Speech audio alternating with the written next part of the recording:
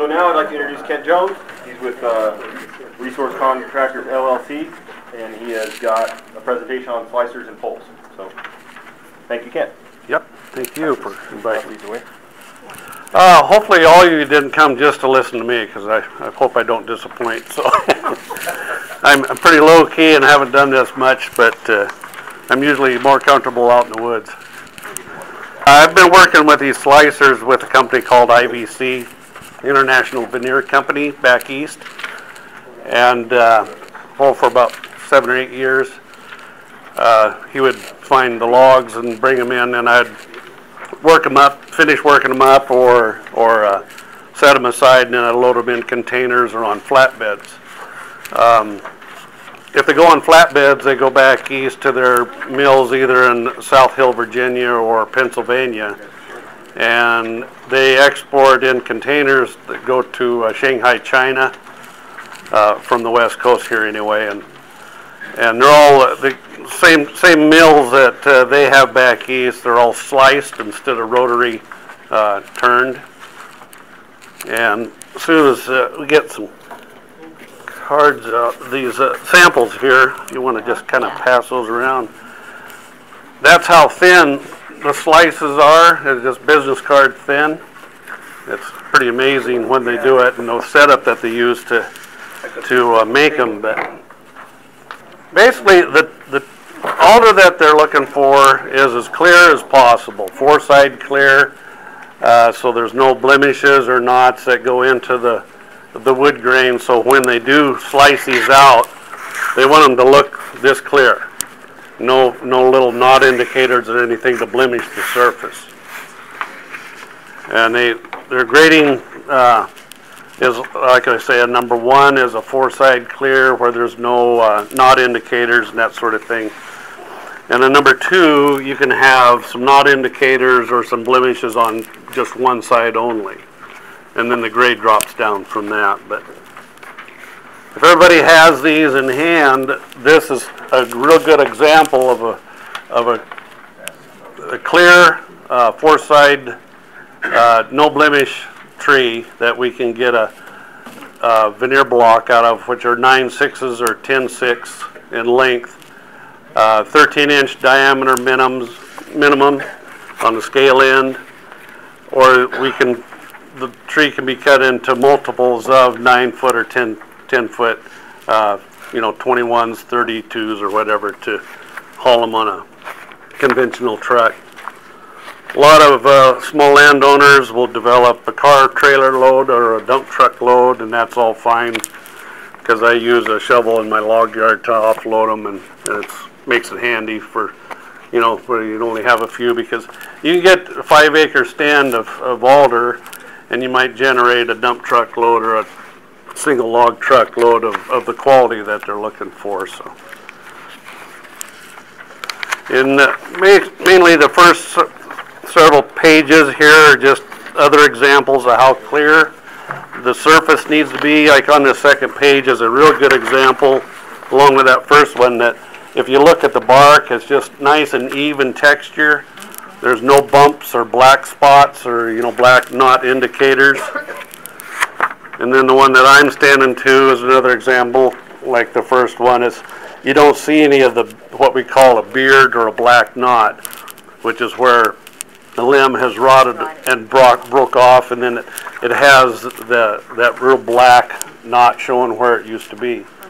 And when they slice into that, that uh, they try to set the log up on the table to where they can maximize the number of slices they can get out of each piece before they run into a blemish.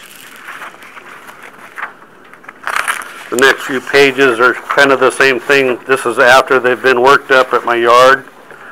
We uh, That white is a wax that we paint the ends with to kind of help control checking and, and staining and just keep the color of the wood, you know, as, as natural as possible. But if you look at the surface characteristics, it's all like what I was showing you in those previous pages. Nice and smooth and straight and round and clear surface. One thing that's kind of natural when you process these in the woods is you'll get the split. You know, they just they'll pop open on their own, you know, and a single split across the face like that is, is acceptable. Preferably, you know, if, if both ends split, that stays in the same plane. That way when they jig it up, that they can slice right into that split and recover as much as possible. And these uh, little units there that kind of hold that split together are called flitch savers. They're made out of plastic so I can slice right through it without dulling the blade. And the next page is a real good close-up of what we call the black knot or a, a beard. And if you look at one, I wish I had a picture of one on a standing tree, but you can see where the, the limb used to be, and then underneath is all these little depression marks, and then usually you have a black angle coming down that looks like a Fu Manchu type beard coming off of that. So they're pretty noticeable from a distance. There's smaller ones and bigger ones like these.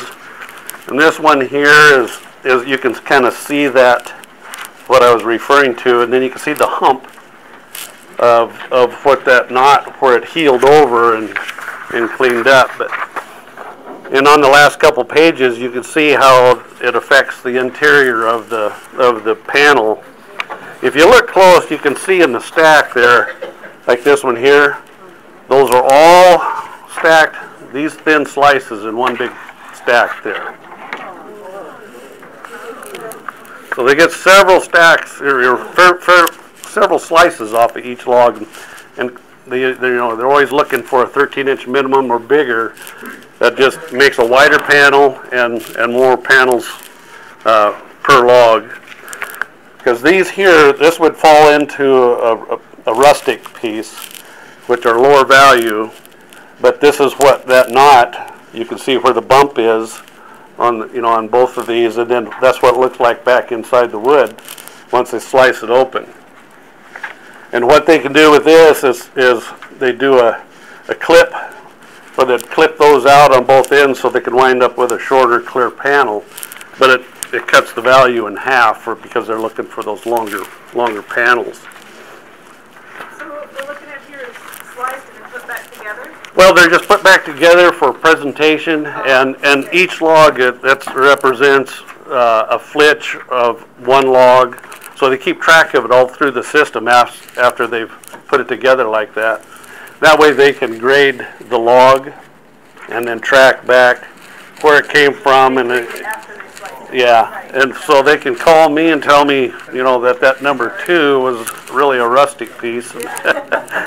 But, uh, and normally they, they try to target, you know, highest percentage they can on the clear wood if it's a number one, but realistically, they're only recovering about sixty percent at best for the, the, what they're targeting for, so there's a fair amount of fall down and loss of value, so it's pretty critical to try to get the best, the cleanest piece in the woods or, you know, at my yard where I, before I load them out and pay for it. Pardon? How they dry them? Uh, that I'm not real sure, but I know when the load gets down to their, their mill, they go into a water bath of a hundred some degrees, and it's in there for, I think, seven days soaking. So when they pull them out and then, uh, set them up on the table and slice them, these pieces are almost transparent where you can almost see through them. They're, you know, still saturated with water so much, but, You know, if that gets through the sap, and it's, pardon? replaces the sap with water, is that it? Yeah. Can you Yeah. repeat the question so we can? Oh, yeah, the, the question was, uh, on, Try to dry them. The- on the drying part. I'm not sure if they uh, they. I've, I've never had that question asked, but I, uh, haven't asked it myself, uh, but they must dry them through a a kiln, I would guess. Uh, because I think the customers come in and they pick out their bundles and I would assume that they're ready to ship, you know, packaged up and ready to ship. So they, they must be dried. Uh, I know some of these that I have sitting in my shop, they'll start warping a little bit because I just got them sitting out on their own and, and not packaged up or anything. But the, uh, the water bath that they do also, it sets the color of the, of the sheets once they slice it. So it- there's no special chemical or anything they use necessarily, but it's, it's, I think it's a company secret. How they do it and how long determines the color. Because uh, they've had some wood go through that was either too old or, you know, for some process reason, it turned out almost bleached white, and that was, they wasted the whole, the whole vat load. Which a, a load of, uh, logs that are in the vats that I'm talking about like five thousand board feet per, per charge that they process through at a time. Question, how, how, how long after they're sliced? Mm-hmm. I mean, do they have to be stickered or anything like other timber? I mean, what, I don't think so. I, you know, through the. Dr- Yeah, through the drying process, you know, all I've seen is just stacks them like this.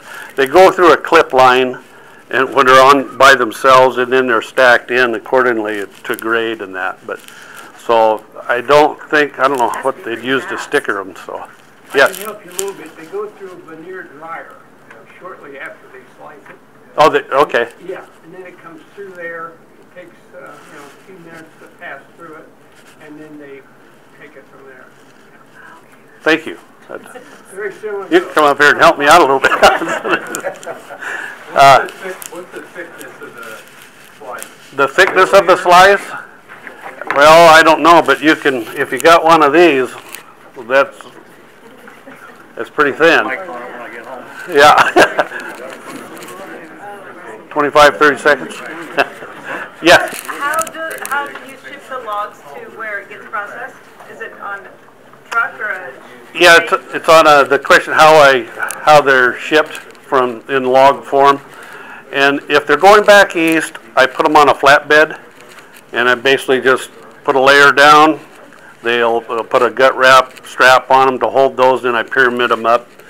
And uh, there's like 13 to 14 pieces per stack, four stacks on the trailer. And that's, they, they tarp them, and then the away, away they go. If they're going overseas, they go in a Sealand container. And I'll stack, a stack of them in the end as far as I can get them in there, because, you know, the, without pinching your hoses and that sort of thing, they'll stick it out, and I'll make the whole stack, and then I got a pusher that I use, and I shove it in, I do that three times to get the load, uh, the number of pieces, usually about sixty-three to seventy-five pieces per container, is what, uh, a full, be a full load. Is there a difference in the quality between what goes to the East Coast and what goes to China? Used to be, but now they, they want a better product too, so it's, it's pretty much the same, same quality, uh, in demand. Uh, you know, not all wood goes to China, there's, uh, some shipments will go to Vietnam, uh, Germany, you know, pretty much global anymore, but, uh, um, I probably send more overseas than I do back east. The back east of the mills, they do a lot of other East Coast hardwoods, you know, elm and oak and poplar. I, I mean, almost everything they'll, they'll slice. But, uh, so they, from the West Coast alder, it- takes a, you know, a week to get back there. And it'll sit in their yard for a week or so if they can't fit it into their, their cut right away. So, um, the, the time frame of especially going into the summer months is crucial because these will stain and once they've stained from the heat, they've lost almost the whole piece. If they can clip them back from the ends and salvage anything, but, uh, that's real risky because we're, we're looking at, uh, a minimum of two-week turnaround here from once they're cut to where I can get them on a truck, plus a week of shipment, and then hopefully a week or less of sitting there on their blacktop, cooking the whole time until they can get them into their water vat and, and start processing them, but. Explain this, machine uh, slices these. uh, Yeah, the machine that slices these, uh, it's, if you can imagine, they'll take one of these logs and they'll, they'll slice a flat edge on one side. And they'll put it up against this table, it's, it's a huge table, probably about as big as this wall, and maybe this, this long to the corner. And they'll put up against that log, and it does have a couple of dogs to start with, but there's also a strong vacuum holding it. So as the, the table starts working in and it slices, that gets lighter, and then they can release those dogs, and just the vacuum holds it so they can slice right up to the very end piece to the table.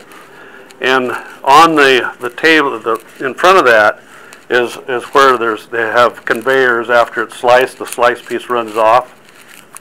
But at a slight angle, there's a razor sharp blade that's about 10 or 12 feet long, and it's stationary, and it's, it's at an angle like this, so when the table comes in, it actually moves up and down this way.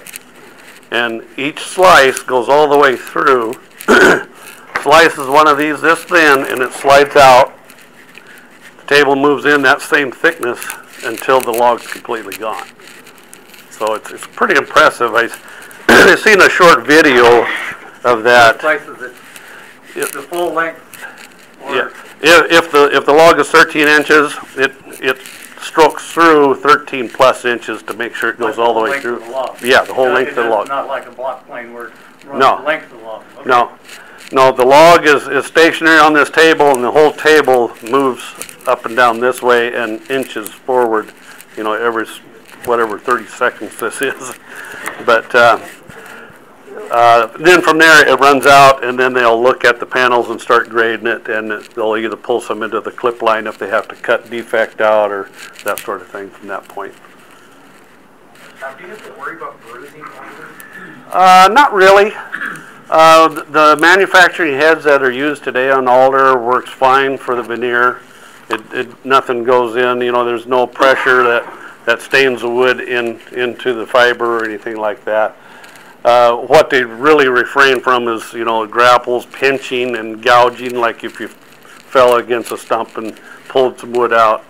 You know, you've, you've lost, if it's in that much, you lost an opportunity of several slices until you get that cleaned up. You take the bark off first? Uh, the, yeah, the bark comes off, and I, and I believe the bark comes off before it goes into that water bath. And then, uh, and then it goes right into the mill from that water bath. Got pressurized? Uh, not in the water bath, it's not pressurized. No, it, it's just, uh, at a temperature, I think it's like hundred and twenty degrees. And held that for like seven days. You work with other species? Uh, not out here. No, just, just alder, yeah. Most all the other species are, you know, back east. I know they've gone into South America at times and, and bought some wood, but. No, no, I, they do do maple back east, but, uh, yeah. So, All the processing is on the East Coast? uh, there is a processing operation in Idaho. I don't know the name of the company, Different company. yeah. And, and there's a few other back, e- you know, mid, Midwest or back east, yes. What's it gonna take to get them to work with maple, our maple? That I don't Is it a know. problem with the, the, uh, stringiness of the maple or something, they don't slice or? It's a harder wood, isn't it? Yeah, it's a harder wood, but uh, I don't know if it maybe the color change in, you know, from the sap to hard. There's quite a bit of varia- variation of that here. I don't know if the back east, the, the, the maple they have back east uh, has that issue or not. You know, I, I'm not that involved in that whole process and, tha- and that part of it to really answer correctly for sure, but, yes.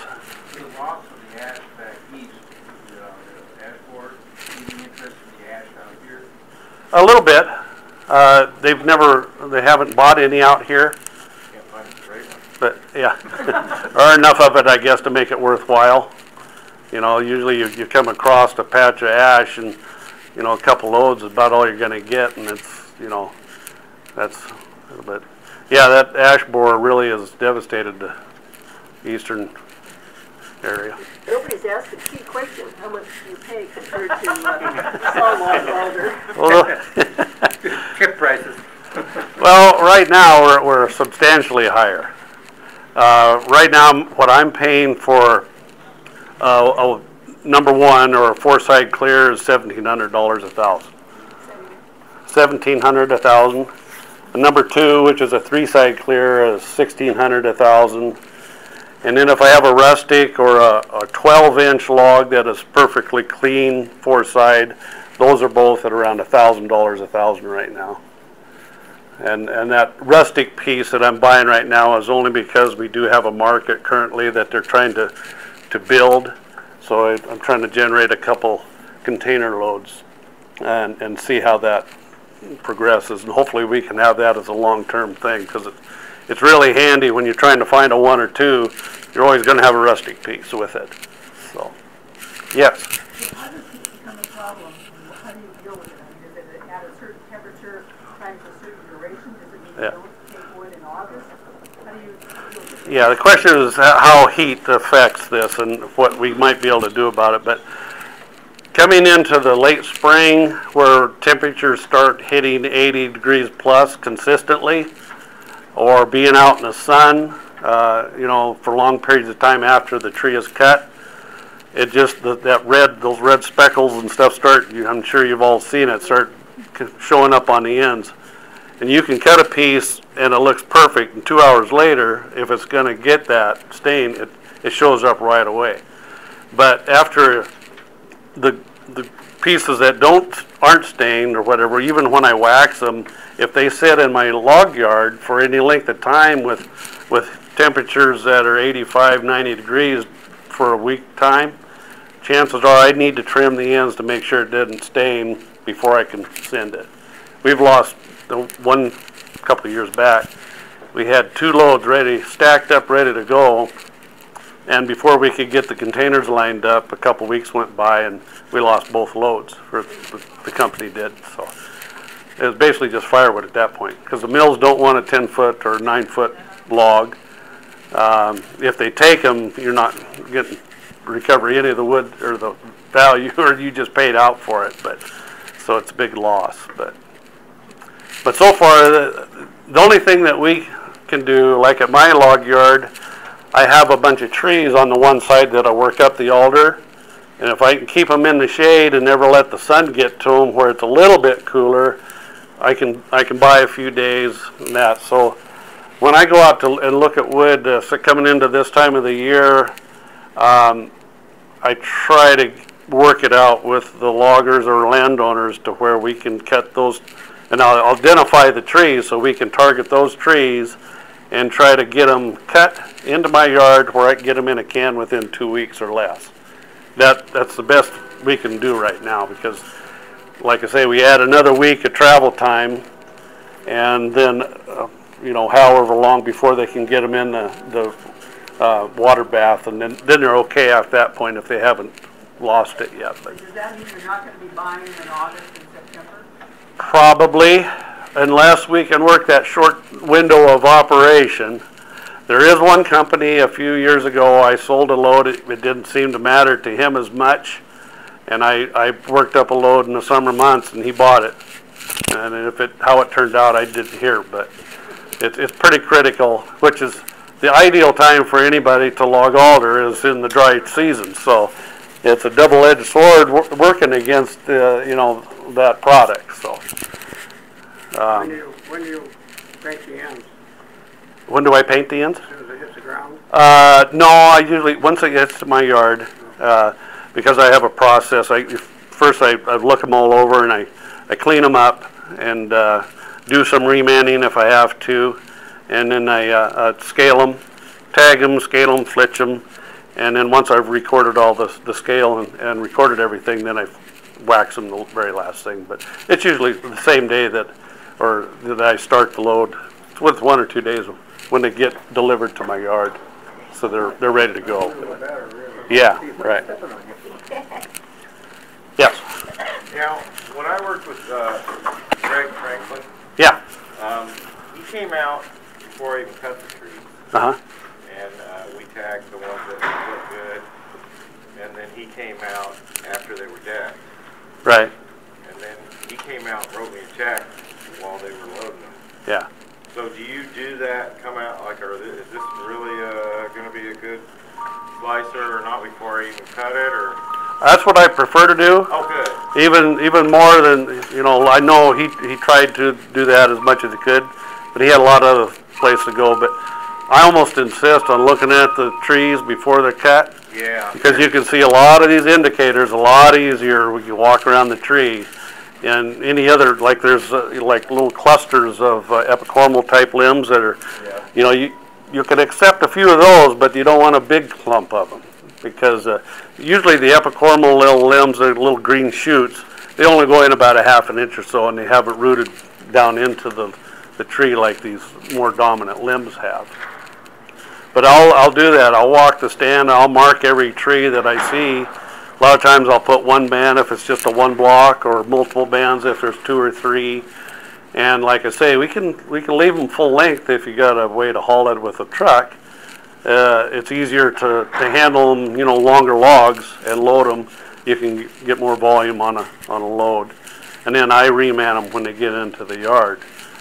Um, then I've done that too, to where if there's room on the landing, we can work them up right there. We can put the flitch savers in, tag them and that. But a lot of times you're working on the ground or something, so you don't have skids, make it a little easier to paint the wax on, that sort of thing. But and the one difference between me doing it and Greg, Greg is the end user, user and he walks around with a checkbook. Mm-hmm. I have to put everything together, invoice the company, and then they, the payment comes from them. So I try to do a two-day mailing turnaround, so I try to get the money, you know, payment of a, you know, a week to two weeks maximum, but I try to target a week turnaround for payment. So, And then one real quick question, how many, what's the minimum number of logs you'll pay, ten foot logs you'll pay? the minimum number? Well, right now, I haven't found anybody that can produce more than we can sell, so. Okay, so Uh, I say I got ten or twenty logs, that's okay? Oh, yeah, sure. That's, that's only a partial load. I, Right, Usually, uh, if it's going container, I'm, I'm looking for around fifty-five hundred to fifty-seven hundred board feet in the load, so, and that's usually, depending on the size, the diameters, you know, sixty-five to seventy-five pieces. On a flatbed, it can't haul as much just for the way they're loaded. They don't use stakes to stack them in. And usually, a, a average of fourteen per stack, uh, so, you know, 55 to 60 pieces. That pretty much gets a flatbed up to legal weight to, to go on the highways, 80,000 pounds, so. But yeah, uh, anytime uh, you, you have alder of size and the critical part is measure a few of your trees and, and try to hit that 13 inch, at least in your first block. You know, you can kind of eyeball it, you can measure something or use a circumference or whatever to kind of determine that.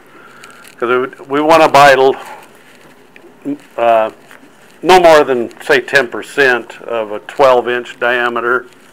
Because there's, you know, they're just so, so narrow of, of panels. Yeah. And, and they're basically, these customers, you know, they're using them for cabinetry like that and stuff. The more, that- the wider the panel, the better it is.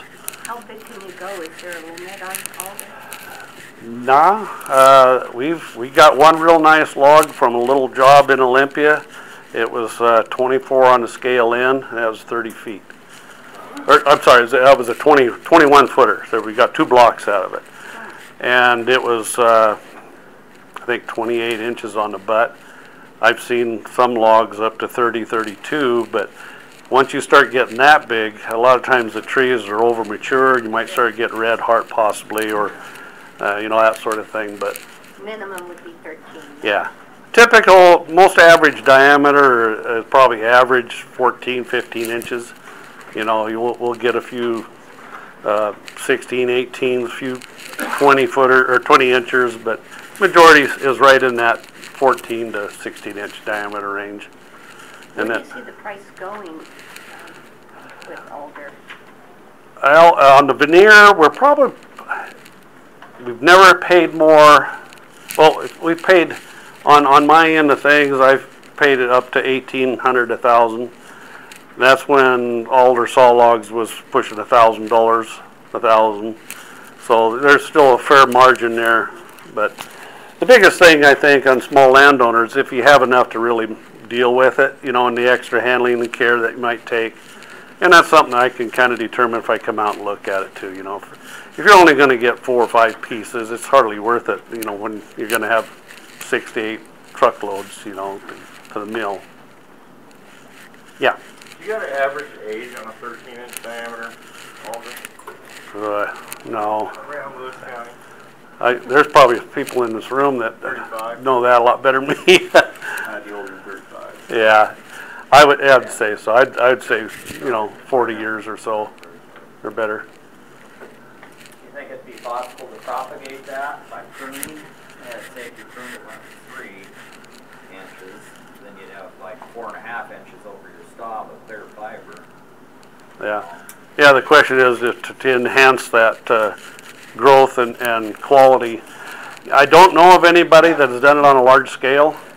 I, I know a few tree farmers down south that have done that with poles and everything else, you know, and, and Alder would be no exception. I, the sooner you can prune something and get that nice, clean wood is, it's, it's better for several species, so. But it takes a lot of, lot of time and effort to do it. I suppose alder might be the easiest because there's less limbs than on a fir tree. so, trying to think. Uh, I guess that's unless you got more questions. I think I covered most everything about it. Uh, but the, the key thing, like I say, is uh, you know on uh, harvesting it is uh, you know if you think you got something, give me a call. Uh, I'll be more than happy to come out and take a look at it. Is there any kind of ring count associated with these? Not really, no. Uh, I mean, the more even grain it is, the better, but usually, uh, you know, we've, we've cut a lot of blocks that had pretty wide, you know, fast growth in it off the, Is there a time that you just really don't buy? summertime. The only time you buy in the summertime, if you can really get it down to figure it out, then move it quickly. That's the If- only time. Otherwise, just don't even try to. Yeah, about it. I, I wouldn't, I would definitely call first and then I'll say, well, I got a market. I got, I'm looking for a container. This guy's willing to buy the wood. Let's move it right now. But the, the biggest problem is that a lot of private landowners or, you know, smaller, uh, tree farmers aren't gonna have enough of volume of that quality to make a full load themselves. So I really, really cut back in, the in the beginning of the hot season on these six, eight, ten piece loads. I'm looking for a Port Blakely that has a whole load in one truckload, you know. The, the mule trains that come in off the, these jobs like that produce a little more than one full load at, at a trip. And so it's, you can work it up and move it out real quick. Um, yeah, that's, it's, the bad thing is, is the, the heat. And coming in through, let's see, this, we're coming into April here, here real soon.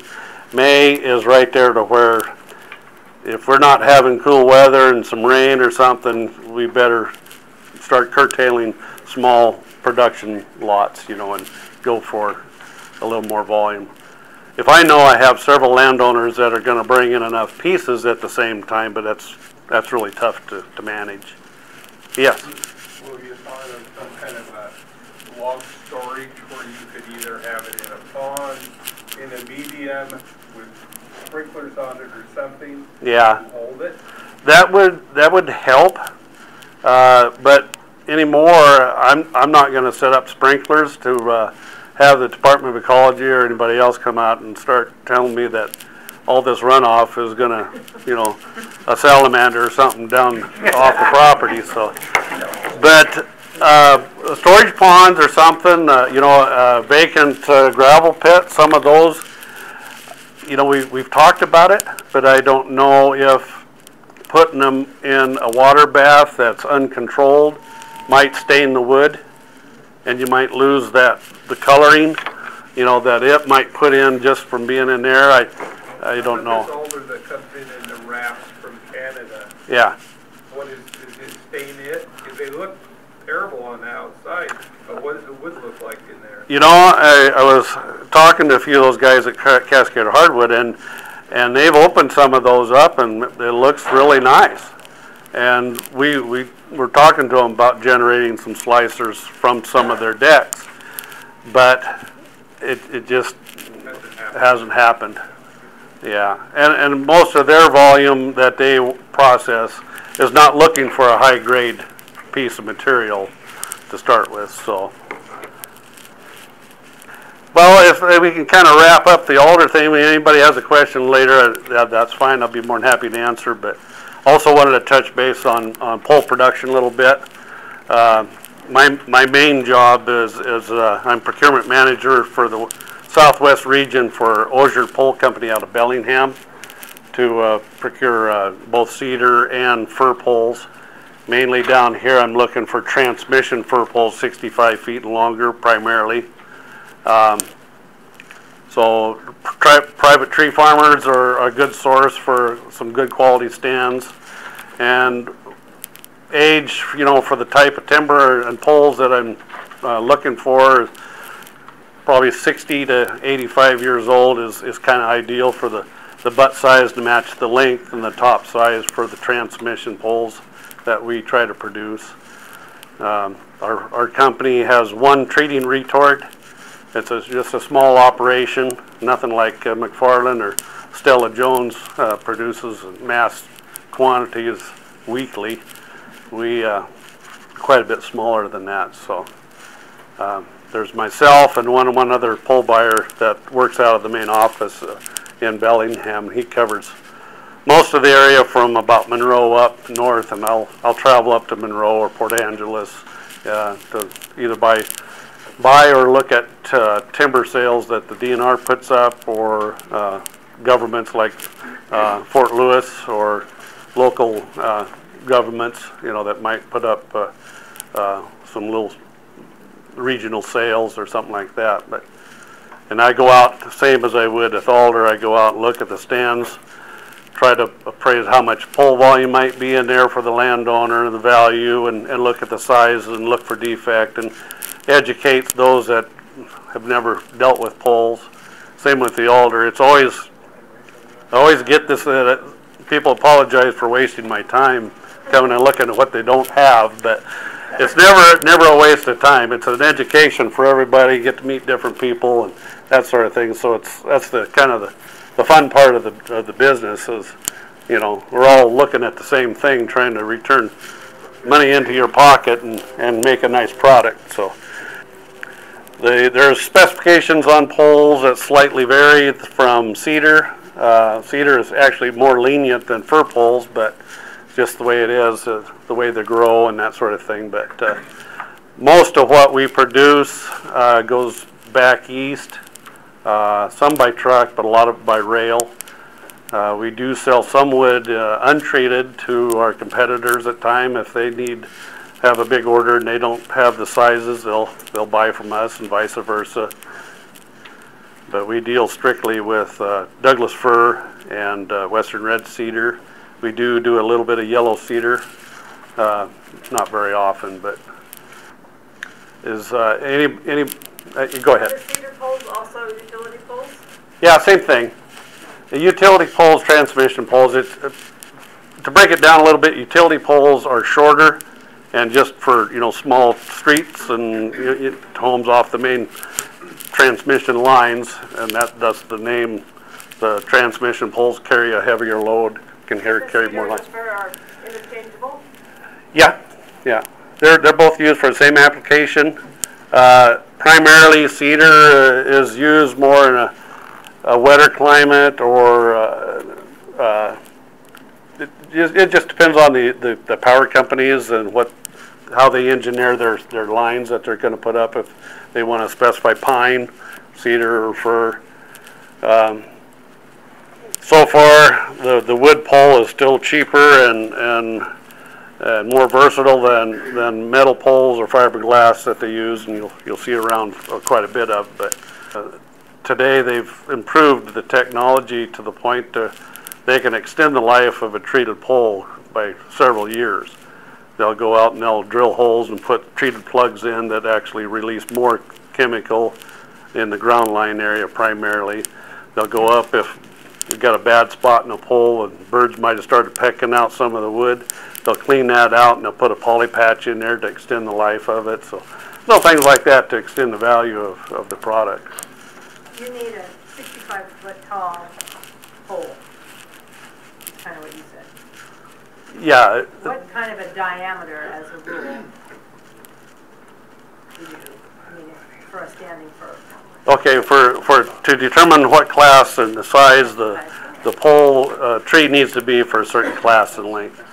Um, on average, a sixty-five footer will need a- like a seventeen inch diameter butt and an eight to ten inch top.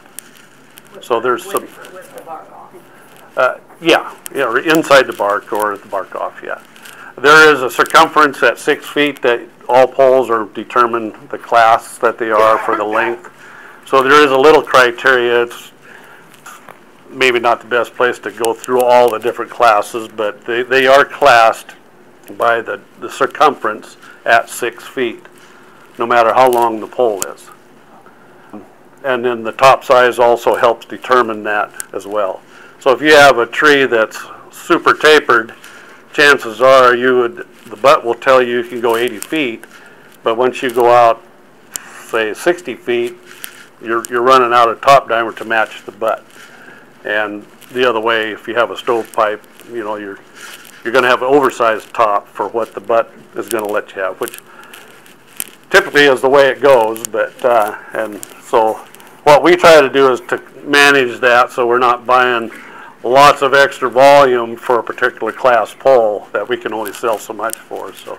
But most trees are fairly uniform in taper and, and pretty well con- conforms to the, the class and length for the tops. They go into the yard, you have Onalaska, or do you ship them? Uh, Occasionally, uh, when I was set up a little better, I had the room, I would buy some wood from south, you know, like Woodland and Kalama or something like that. Then the landlord could bring it up, up to my yard, then I would look them over, reman them if I need to, get them scaled by the Bureau, and have them all set to go, and then tag them, and then just put them on a truck, then they go up to the yard from there. And then uh, they'd go through the rest of the process there. And and the landowner, we get paid based on the scale that, what I scaled them at, uh, at, Onalaska, so. What do you pay then for those? Well, right now, the average price varies from, say, eleven hundred to thirteen hundred dollars a thousand, depending on, you know, say forties to long transmission. It kind of varies from job to job, stand to stand, and different, different things that uh, I can negotiate with the landowners for trucking or, or whatever, and delivery, you know. I, a lot of times I, I might buy the wood on the landing and pay for the trucking. It just, it kind of varies, so it's not a set price that I have. Yeah, uh, there is a minimum ring count, uh, uh, try to hit, uh, I think it's like six inches to the inch, or five inches to the inch, uh, I think it's five inches actually, but, uh, smaller poles when they're young, you know, they're still growing, so they have wider rings. Usually the transmission poles, the older trees, there's no, no real issue. What- issue that you do have is sap. You gotta have a minimum of three quarter inch of sap wood for the treatment to, to go in that far for the longevity that they design these poles for and, and what they expect the life of it. Uh, most generally, the, everything is usually has ample sap wood, you know, two to three inches sometimes, so. Like I say, if you have too much sap, it's easier for too much oil to go in, so it costs us. It's getting over-treated. But when you have thin sap, uh, even, even sometimes you might have enough sapwood that is legal, but occasionally there's times where the oil will, just won't penetrate the cells. It goes through a process seasoning cycle to ex- expel all the, the moisture that's in the cells, and then the oil and treatment will replace that. But sometimes cells collapse or some, something like that, and it won't allow the, the penetration all the way. So they're, they're, quality sampled, you know, with cores and, and have, you know, individual inspectors that come out and check for that before they're actually shipped off, but. We had a question back. Between the, the current cedar poles? Yeah, cedar poles are a fair more pricey. Uh, You know, we always try to stay above the, the markets that, you know, cedar markets versus fir markets and the mills and that, but uh, uh, typically, the cedar prices will run two to three hundred dollars a thousand more than the fir will on almost any given length, you know, in, in the classes that they are, so. Any, requirements regarding limbs on the poles? Yeah, uh, there's, uh, to try to keep it short, you know, there's, uh, on fir poles, the fir trees, you have whirls of limbs. that kind of grow in whirls. Cedar, they're always usually staggered. So there's very, very seldom you have too many limbs on a cedar pole. On a fir pole, you have a sum of knots in a one-foot lineal section. And it's broken down into the length of the pole of how many knots you're allowed and how, how big the knot can be.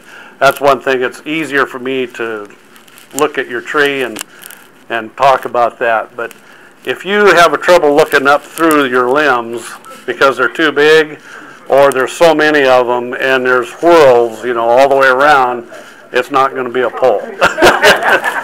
Uh, we, you can't have uh, spike knots, you know, uh, limbs that grow out at an angle.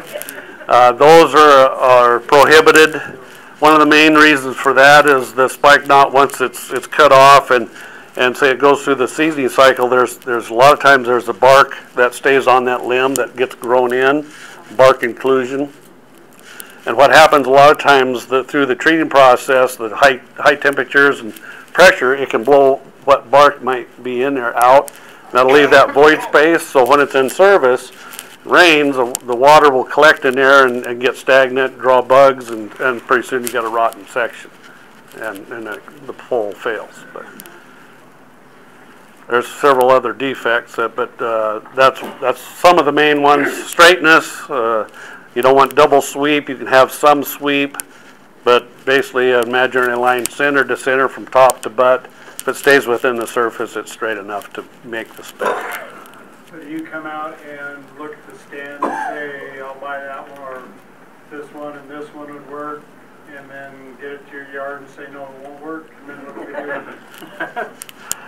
Well, if, I, I don't pull the money out of my pocket, but what I will do is guarantee that I look at them, because there is a hidden de- defect.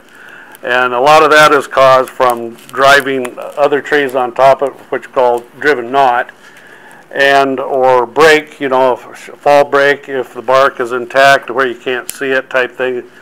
Those are almost impossible to see, but I'll guarantee what I buy on the landing that I've looked at, I've eaten poles because of my word, if it's, if it, I didn't see anything wrong with it, and that's one reason I like looking at the stand first, to identify any defect, because if you have snow break in there, it's gonna be pretty much consistent throughout your stand in the same area to where you need, so you can either take a log off, get a pole above it, or just bypass it, and go to the next one, and, and that's where I, I spend the time to, if I mark your stand for poles, I've pretty well looked it over good enough, it, unless I miss something, but, but, yeah. Uh, We do, what I do a lot of times on the fall down, if something gets through, and it works out to where we'll set those logs apart, you know, aside, and we generate a load, you can have it delivered to wherever your other saw logs are going, or we'll pay a fair market price minus a little bit for our handling costs, so it's not a total, total loss. But I try to minimize that as much as possible. I, I try to, if I have one piece on a load that was kicked out, it's on me for not looking at them close enough. And we've done a real good track record between me and the other buyer of, of having every, you know, hundred percent load, uh, pieces on the load being acceptable. They might have to cut a few back, you know, five or ten feet to clean up something, but we can, we can do that because we, the volume that we generate is enough that we can stay on top of it, babysit the jobs to where, you know, a lot of stuff is not just shoved through and dealt with later.